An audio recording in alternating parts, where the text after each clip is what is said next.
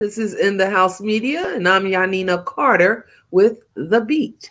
Robert X. Golphin, author, writer, filmmaker, and an actor. Did you know that you was going to be acting? Did you know that you was going to end up right where you are now? My mom definitely wanted to expose me to as much about arts as possible. I was raised up in the Montessori school system, so we had a lot of alternative ways of learning and I didn't know that. Yeah. Which yeah. Montessori school did you go to? Because Robert's from Philadelphia. I went to a school. It's it's now defunct, but it was a school called New Path Montessori.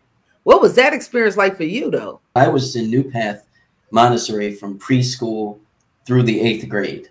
So Okay. my entire young Okay. educational life was spent in the Montessori school system, minus one year. After eighth grade, where did you go? Oh, uh, so I went to the Philadelphia High School for Creative and Performing Arts, CAPA, Okay. to be around a whole lot of people doing the same thing that I was doing pretty much. So that's a great environment to be in.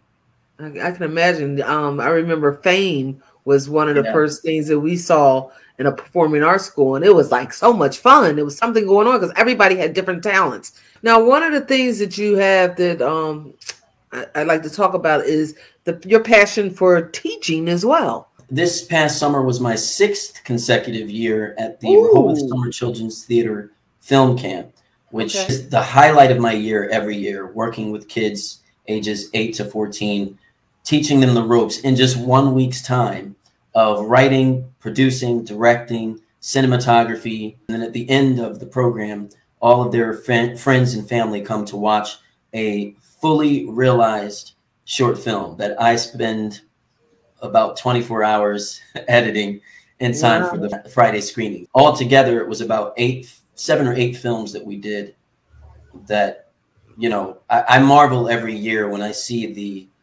creativity that these kids had. It makes you want to go back to being a kid when you're uninhibited. Mhm. I went to a store and happened to bump into one of my past students, and they're going to film school. There is no greater feeling than to know that a kid you've inspired is now going to follow in your footsteps. So go to robertxgolphin.com. And thank you for joining us today. Thank you for having me, Yanina.